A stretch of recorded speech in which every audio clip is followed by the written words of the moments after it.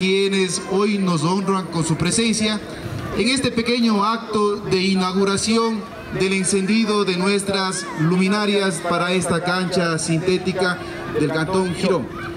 En esta noche, en primer lugar, me voy a pedir o me voy a permitir agradecer a quienes de manera incondicional, constante y sin a cambio de nada han apoyado a todo este evento deportivo de esta tarde de hoy, domingo.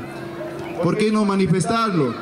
Al señor vicepresidente de Liga Deportiva Cantonal de Girón, al señor Dani Gómez, al señor vocal de Liga Deportiva Cantonal de Girón, al señor Patricio Murillo, al señor Juan Carlos Hernández y al señor Israel Vázquez.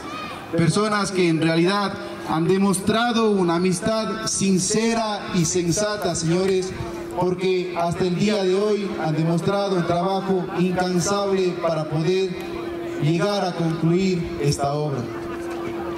¿Por qué no agradecer también esta noche al Comité Achiras de Corazón y a su vez a su delegado para que pase este agradecimiento muy fraterno, muy respetuoso y muy de corazón quienes han sido de una u otra manera quienes nos han apoyado para impulsar y poder culminar la inauguración o la implementación de las luminarias de nuestra cancha sintética del Cantón Girón. Al igual, señores, también agradecer a todos quienes en realidad nos han apoyado constantemente desde que hemos abierto estas canchas deportivas con el sistema de iluminado. Todos, tres, dos, uno. El aplauso, viva Girón.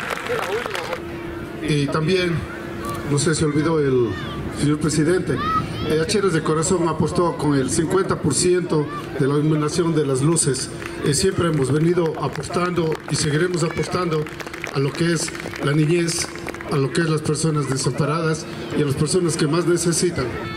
En esta noche, en estos años, en poner nuestro granito de arena para que Girón esté cada día mejor. Eso ha sido nuestro afán desde el momento que llegamos. Hicimos un esfuerzo importante como municipio para poner los drenes, para ayudar a hacer la gestión al Ministerio de Gobierno para que nos dé esta cancha, se logró, apoyamos con el cerramiento y hoy con Achiras de Corazón, con la Liga, con el señor presidente, con ustedes, los niños y niñas, que necesitamos estos espacios para jugar, para reír, para ejercitarnos. Hemos apoyado y vamos a seguir apoyando siempre sin distinción de nada.